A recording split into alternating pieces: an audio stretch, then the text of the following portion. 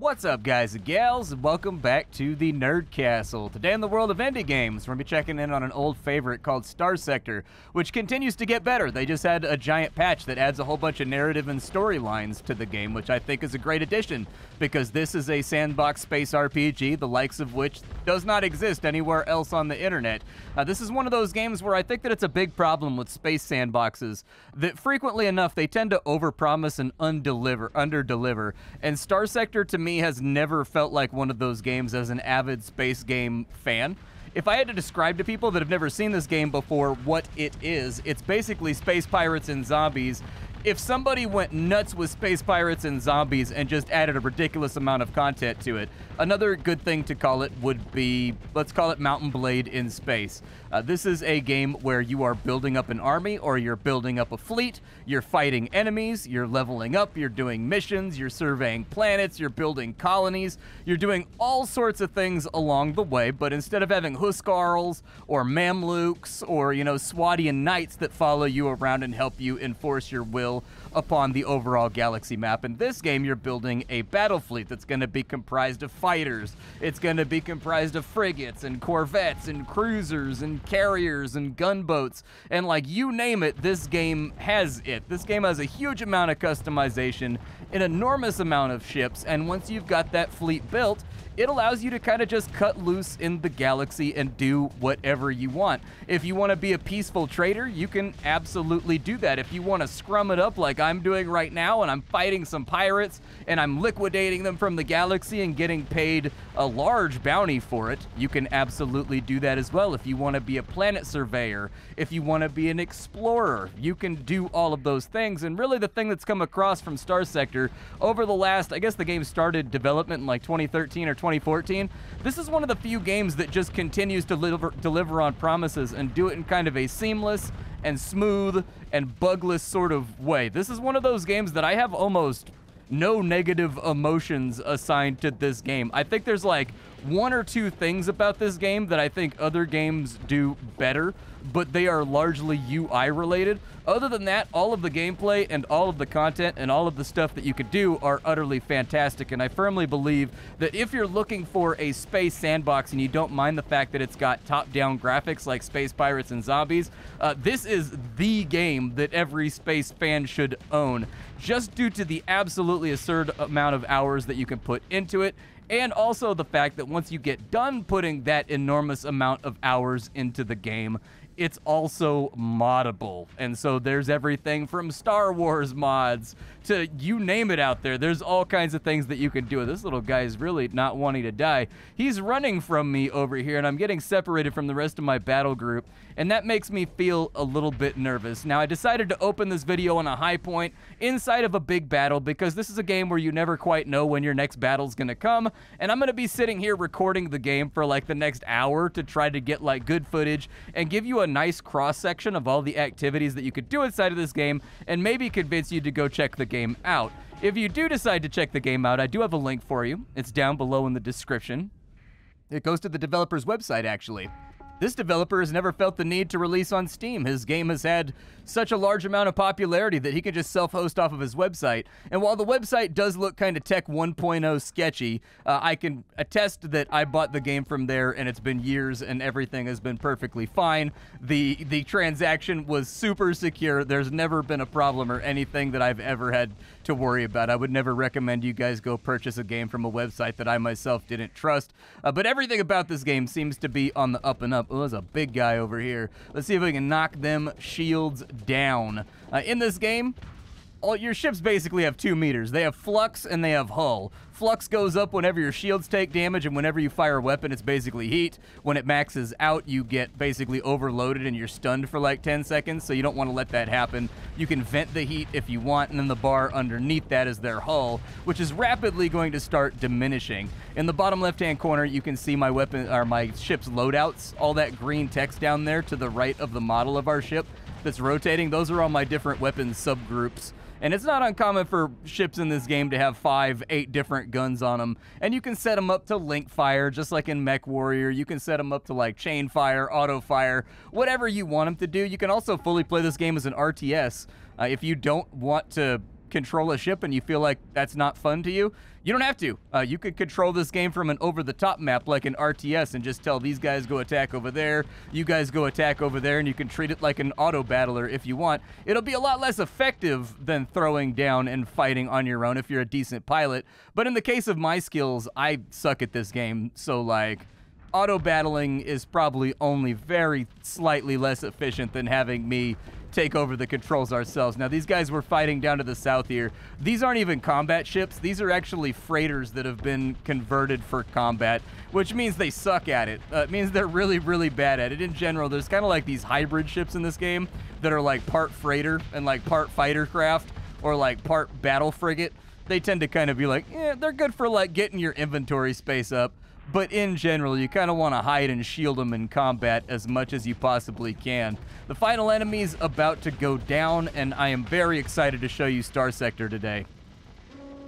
We've actually wrapped up the fight right there. So let's go ahead and bail on out and we'll start talking about all the things that make Starsector awesome. Because this is a game that I am especially passionate about, and I think everybody else should be passionate about it too. Because this is a project that not only has a lot of promise, but has also fulfilled a lot of that promise in a very smooth, satisfying, and polished way, even in its early access.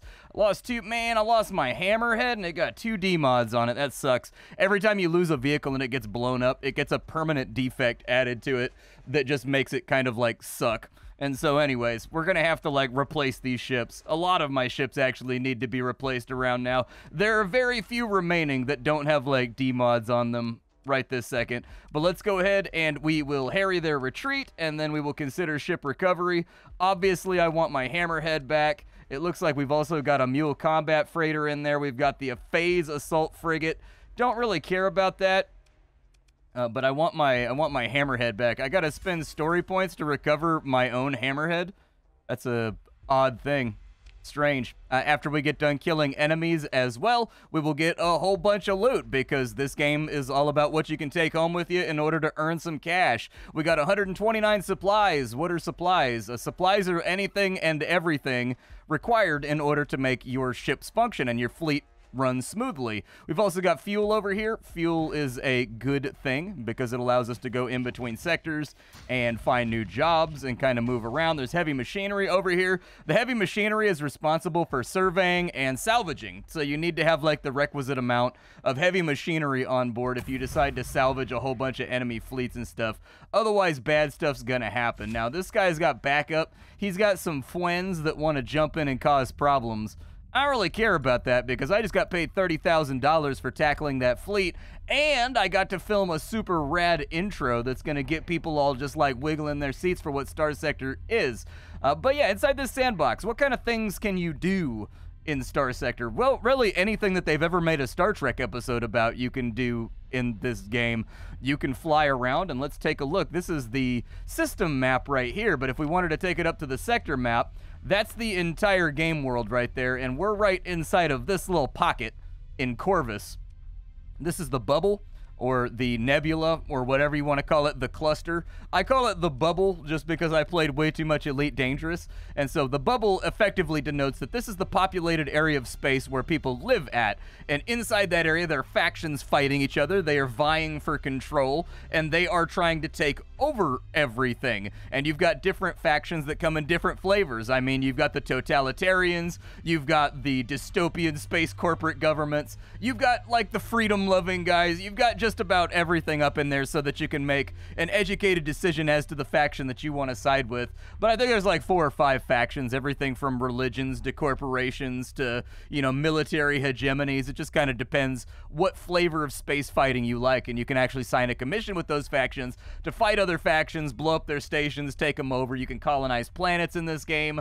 Uh, you can go out and you can space mine stuff. You can go bounty hunt. You can fight with enemies. There's storylines now as of this patch. Uh, that's actually what this patch was focused on, was adding a whole bunch of storylines to the game so that it's no longer just kind of like a sterile sandbox. No nay never. Now there's actually like storylines that you can follow uh, for like some of the religions and some of the major players so that it'll flesh out the galaxy a little bit better.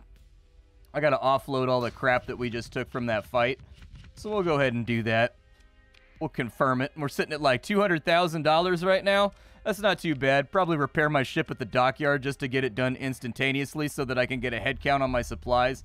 We've got 200 supplies left. So, what are the core basic functions of this game? Well, you fly around the galaxy. This hotbar down here is different things that your fleet can do. Uh, so, those are specific activities like going dark, turning off your transmitter. I mean, you've got a transponder over here that handshakes with all other ships that you're flying around. If you don't have a transponder on, people can't identify you and they get really hostile because they think you're up to something. We've got afterburners. We can take off fast. We've got interdiction pulses that allow us to shut down the enemy's engines with like EMP waves so that we can catch them and fight them.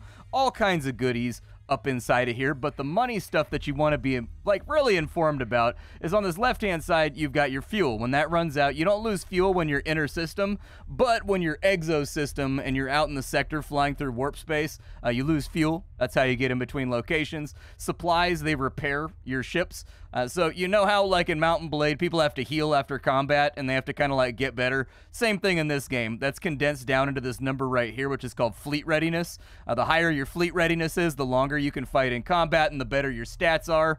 But you know, it's up to you how long you want to stay in. After every fight, you're going to have to restore this, and it's going to cost you a lot of supplies. You got your money up here. Uh, you've got your scan, your sensor profile, how big your fleet is. You've got like the fleet-wide hull and armor status, all kinds of goodies up in here. It's kind of no wonder they have a standing bounty on these dudes out here. Some of these pirate fleets are actually pretty chunky. They're faster than me too, which is really upsetting. Who is this little fleet right here?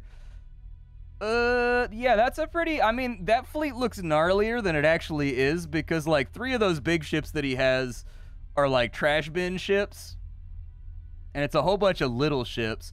And I think we popped the little ships no problem. The big issue there is going to be the guy in the top left that looks like a Star Destroyer. He's like actually a problem. Like, that's a ship that can actually like do bad things to you and make your feelings hurt. Let's go back and we'll spend some of this money that we got from fighting pirates because there's a standing bounty on all pirate kills in this sector because they're having a huge problem with brigandry. Uh, we get paid for everybody that we kill, every head that we take.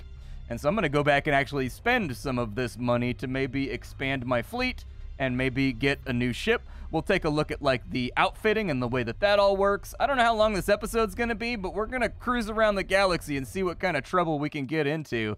We've got, let's see, let's go and we'll trade goods. We'll go to the fleet menu.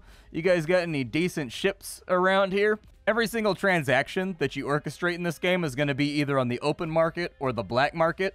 Uh, open market, it's totally legal stuff. Nobody cares. Black market, you want to buy from there. You can absolutely do that too. Just make sure that you don't have uh, your transponder on when you buy from the black market. Otherwise, you can get caught. The police tend to get upset when you pull up in your brand new pirate, you know, cruiser that's got a whole bunch of skeletons chained and impaled to the front of the rig. I like this mule combat freighter over here. He's got like an Omni shield on him and he only costs like 40 grand. The downside is that I'm kind of like, I could buy that wolf frigate right there too. Hmm. Do I have any wolves that are like scuffed up that have like D mods on them that maybe we want to get rid of? So he's fitted out. He's not fit. Wait, that Nostos right? This guy's not fitted out. We're going to have to put some guns on him.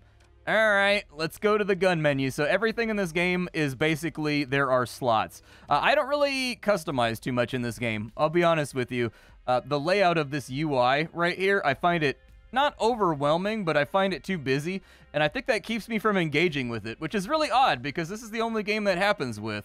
When it comes to like MechWarrior or it comes to other games, I'm a huge tinkerer. Like I tinker with things non-stop down to like decimal points of DPS and whatnot. But with this game, I just auto-fit everything because I, I find the whole UI to be a little non-navigable. I don't know. Uh, we got to fit this guy out with a gun, and then we need to go and see if we can buy something else. Luckily, the game comes with like four or five presets for every ship that have like labels for what they do, like whether they're for attack or for defense or for whatever else. And so they tend to work out all right. If I was playing against other players, I assume I'd probably have to interact with the customization a lot more, but womp womp. Uh, I would like to buy a new ship. Yeah, let's buy this mule over here. I got plenty of story points to get myself out of trouble, so I'm not that worried about it. There you go. We bought ourselves a new mule, and we are now being tracked by the authorities. That means that they They they they saw me making little purchases. Uh, but what we want to do is we want to like emergency burn the hell up out of here and just kind of like get away from them. They are also emergency burning to try to catch me, but I think I'm going to outrun them. Yep, definitely going to outrun them. Let's turn on the sustain burn. If I can get my acceleration going. Uh-oh, there's pirates over here. Not great. Not great. We'll do like a special move over here to get away from them and we'll keep on trucking. We'll flip a little Yui over here. And I think we just escaped. Dude, that was some thug life stuff right there, man. We just ran an entire patrol into a giant flock of pirates in order to escape the fact that we just bought an illegal an illegal ship. I don't know if they'll let me land there now. They might be kind of cranky about it. So it might be better for us to head to the fringe jump point and let's go find another sector to be in because I'm a space outlaw now, Ma being a space outlaw and a really bad guy is like a totally acceptable way to play this game. So don't feel bad about it. Man, you guys got fleets everywhere, don't you? Okay, yeah, this pirate sector's getting a little hot and spicy. I think we just got a special maneuver out of it. Luckily, I haven't spent any of my story points like the entire time that I've been playing the game, so I have like a dozen of them. So we'll go through the jump point real fast. But yeah, this neighborhood does have problems with pirates, don't it? So now that we're in warp space, uh, what activities are there to undertake in this game? There's all kinds of activities, actually, and you can find them inside the Intel tab down here. So if you go to Intel, you can find a list of every single open activity in the entire game, narrative or procedurally generated or otherwise. This menu right here is the magnificent creation that I think keeps this game afloat. Having to actually fly around and requisition or inquire about activities in this game would be very expensive and very long-winded, and so it was tremendously kind of the developers to create a menu that shows you all the stuff there is to do. So there are some new missions over here. However, I have a mission right here to go survey a volcanic world, and that volcanic world is kind of down here in the corner. So what I would like to do is, where is the last gas that I can fill up on before we head out? All right, so our nearest gas station is in Magec. That means we just want to autopilot our way on over there. We'll kick on the sustain burn. Turn off your transponder when you're in warp space. For all intents and purposes, this is lawless area. Like, this is the open sea, basically. And so anybody can attack anybody out here. It doesn't even matter. Like there's there's no penalty. Like there's like no reputation out here in warp space basically. Uh, so turn off your transponder because you don't want people to find you. That's bad. Uh, we've run out of supplies. That's a little bit of a bummer, but we'll jump on into the system while turning our transponder on to make sure that law enforcement understands that we are not bad people trying to do bad things. Nope, I'm just a traveler on the road trying to like Phantom 409, Phantom 309. I don't know, I'm just trying to whoop whoop, like make my way across the galaxy without any problems, and everybody else seems to have an issue with it. Pulling on into Achaman Station, Enterprise Station. Let's see what we can get our hands on around here. I want every single stack of that. I'm to need all the fuel. I'm to need to recrew up, so we'll grab all of our crewmen. Uh, these guys actually... Oof, if I could take those to Thule, we could make like three times our money almost. I think we should probably do it. I know that we're like, we'll come back. We'll come back. In Magec, there's a trade opportunity, but I have a job with a time limit right now. We should go do the time limit job before I do anything else. Oh, yeah, supplies. I do want to go to Nova Maxios. Maybe we'll go to Kanta's Den. I don't know. So you know how we used to have money? I don't have money anymore. That's the name of the game in Starsector. It's easy come, easy go. I'll have like a half a million bucks and I'll be back down to 20,000 every single time. Let's jump to hyperspace and I'm going to show you how the surveying system works. This game does have salvaging, uh, so you can find destroyed space fleets like way out in the middle of nowhere. You can salvage them. There are actually rare named vehicles and things in this game too that you can find floating out in the reaches of space where nothing's been explored. Uh, we need to go to Zaphon, right? It's kind of hard to tell, but I think we're going to Zaphon. It's 50,000 bucks just to go touch this thing and come back. So I'm to go touch it, and then we're to come back. This was actually a gnarlier trip than I thought it would be. That entire area is just like squirrel hold uh, with like slip, there's like slipways, there's like nebulas. That was a really nasty flight. I'm not exactly sure if that flight was even worth it. Let's see. There are jump points. There are drive field activity a short distance away from the Exit. A disposable probe sends back a microburst of information. Forces near the exit are assessed as hostile as a possible threat to your fleet. Okay, let's maybe not go in that way then. Maybe we'll go in right here. I mean, they said it was camped, so our mission, I think, is to find a volcanic world. Yeah, there it is right there. So let's go ahead and we'll head in that direction. I'm not going to use the thrusters right now just because I don't want anything to really know that I'm here. I would prefer that my fleet signal be very, very small at the moment.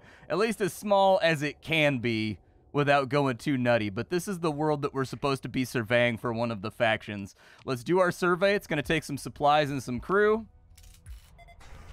We found rich ore deposits. We found rare ore deposits. Rich rare ore. So this place has rich ore and rich rare ore. This would make a really good manufacturing hub. And I mean when I say that, you can actually build a base on this planet. You will have a population. They will have needs. They will have things that they want. You can set up trade lanes to supply them in between your own planets. Like, you can, for all intents and purposes, make like your own faction in this game. See? There's establish a colony right there. You can consider other factors. If there was an enemy base on this planet, we could orbitally bombard it if we wanted to. Uh, we could actually use chemical warfare on it if we wanted to. We could hit it with a planet cracker. We can do all kinds of cool stuff once you get to like the late game. You trying to fight me, bro? Says he's hostile. That's probably not good. We should probably maybe like drift our way out of here. Think they're trying to head us off though. It looks like that other fleet's trying to get in front of us. Okay, yep, we should leave the neighborhood. These right here are redacted fleets. I'm not going to tell you what they are because that's part of the fun of the game is exploring and figuring it out for yourself. Yeah, that little maneuver right there. Oh no, you got me with the interdiction pulse, dude. It killed my speedy engine, but at least let me get me out of that bad situation. We gotta, did I already get my paycheck? Oh, I already got my paycheck. Nice, they wired. I thought I had to go back to civilized space where there's like beacons and stuff in order to get my paycheck. Nope. Jump to hyperspace. Goodbye, killer robots. All right, let's go northwards. We'll head on back, and we had that trade opportunity in Magec. We'll see if that still exists, because I think we actually have a chance to flip around a lot of money right there. Pulling up on Magec. We'll pull on into right here, and we'll kind of see what happens. We'll turn our transponder on just in case. Uh, that guy's going to Kanta's den, which means he's probably a pirate fleet, would be my guess. You a pirate fleet, sir? He's avoiding contact with us, so yeah, he's being a little jumpy. He's being a little jumpy right now. Um, should I beat up the pirates? Yeah, we haven't had any combat. Let's go ahead and we'll beat them up, I guess. Do they have those guys mothballed? Is that what happened? They got attacked or something? Hmm. Let's pursue him. We'll take command of the action. We'll deploy everybody. This is probably a waste of supplies just to bully these enemies right here, but like, ah, who cares? We've only had one combat in this episode. How can you only have one combat inside of a Starsector episode? You need way more than that. All right, let's pull on up. And this guy right here is a carrier, so basically he's no threat to us whatsoever if you can close the gap with him. He's dead. This should be kind of like a gimme fight. This is not a tough fleet right here. These guys are much, much softer than we are. But it does give us a unique opportunity to resupply That one's trying to get away over there. Okay. They've still got a few that are trying to run from us, but I'm hoping we can resupply decently well enough from this. Every single ship in this game has a special ability. I don't know if I talked about that in the opening sequence, but every single ship has an F key ability, something it does, like that guy's little dash that he just did, or that guy's teleport. For me, it puts my weapons into overcharge mode and makes them hit super, super ridiculously hard but different ships have different abilities. Some can go invisible. Some have like a plasma thing that they do.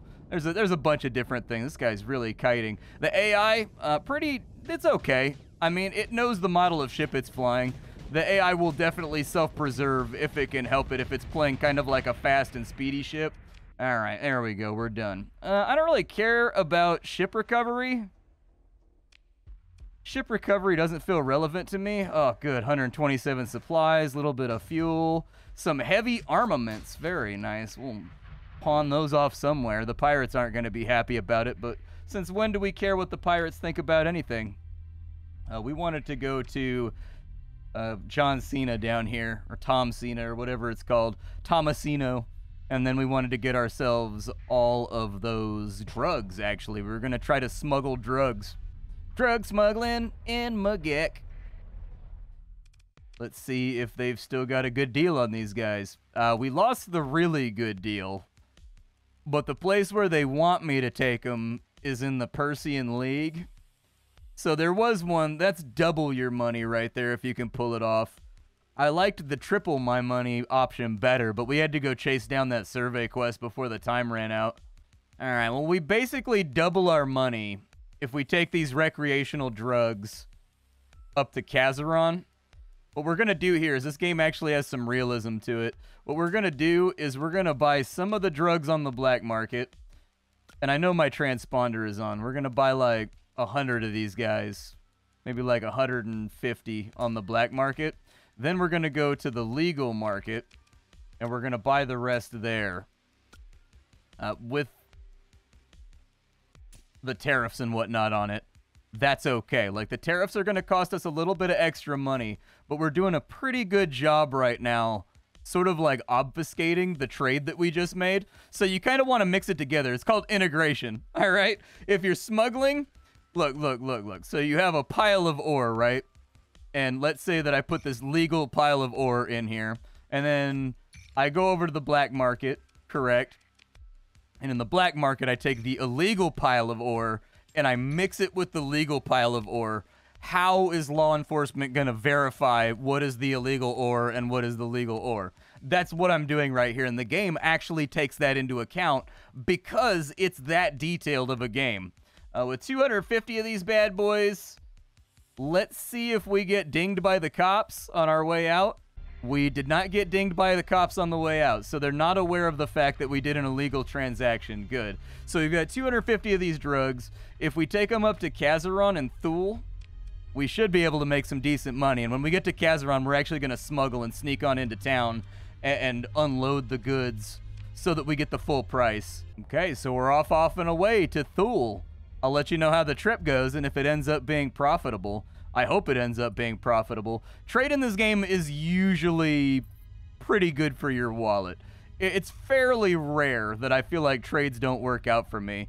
Sometimes you head on the way over there and someone fills the order before you can arrive and you get skunked. That's a little bit of a bummer. Be careful about flying too close to stars. They do have a gravity well that'll cause you to consume a ridiculous quantity of supplies if you end up inside the gravity well of the star. So because supplies are so pricey, like that's the number one way, in my opinion, uh, that the game deducts cash from you and like keeps the economy from going too nutty and crazy is through the purchasing of supplies. Uh, supplies usually cost you forty thousand here, fifty thousand there, seventy thousand there.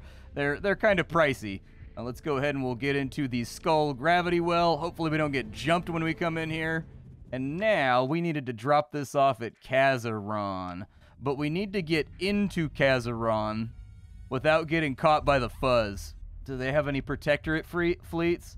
I only see one protectorate fleet right there. Oh, there's like three or four fleets. Not great. Not super ideal. Uh, we'll pull into the station, and we I guess we're not going to be able to unload the... Well, we're going to have to. They'll only buy it at the black market. That's 80,000 that we just made. So that was a, a cool 40,000 profit for a very short run. Like a run that didn't really matter at all. We also have this class 3 data that I can sell while I'm here. Uh, selling on the black market incurs no tariff. The only way, I think you can get the tariffs down if you join a faction and you're like part of their military. But other than that, every faction in this game is engaged in like hardcore economic warfare with one another. So they have like 30 or 40% tariffs on each other's goods. and so it, it's it's pretty steep and nasty. Uh, we probably, if we don't want to get caught, we should probably go to the open market, and we should probably buy some fuel.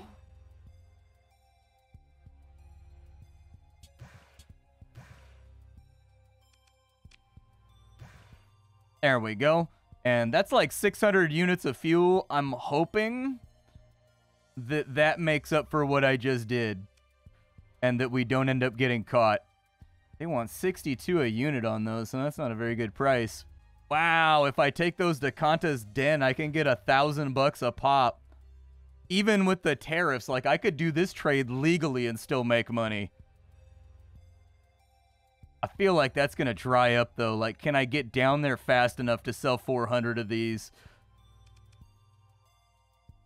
Okay, well, let me get my gas first. And let me see if the cops are going to be on me real quick. The cops do not appear to be aware of the transaction because they tend to instantaneously turn around once they become aware of it and just like run you down. Oh, that's too pricey. Okay. This is risky. This is like a make it or break it run right here. Like with 200 guns, if I can get those over to Kanta's Den, we'll make 200 grand. We'll basically like double our money even if we sell it legally. I have to try. I have to. Like, it's too much money to not try. Ah, and that brings me to a level up. This game is an RPG, as I mentioned in the title. This is your character screen. You have a whole bunch of talents. You also get other pilots that are named characters and have attributes and things like that. You can also assign their skill points. Uh, in this game, leveling up matters. You only get 15 levels. So level 15 is the maximum level in the game. You get 15 picks out of these stacks right here, and each one of these is hugely consequential. Like they give you new abilities, they change the way your fleet works, they give fat bonuses to certain types of ships, but not others. Like they reduce your fleet maintenance, they they do all kinds of stuff. And so this is the place where if you wanted to specialize in being a carrier group, you would do that. If you wanted to specialize in being like a big 30 unit frigate tackle squad and use Wolfpack tactics, you would do that. If you wanted to be all big ships like cruisers that specialize all in rotary machine guns, you would do that through here. There's a ton of customization here, and the customization is actually fairly simple. Like you click one button and you get like five bonuses towards a certain playstyle uh, with each of those buttons, which is a really cool thing about this game is that there's a lot of complexity to it, but it's a very simple and easy game to pick up. Well, it's time to see if we made our fortune or if we're hosed.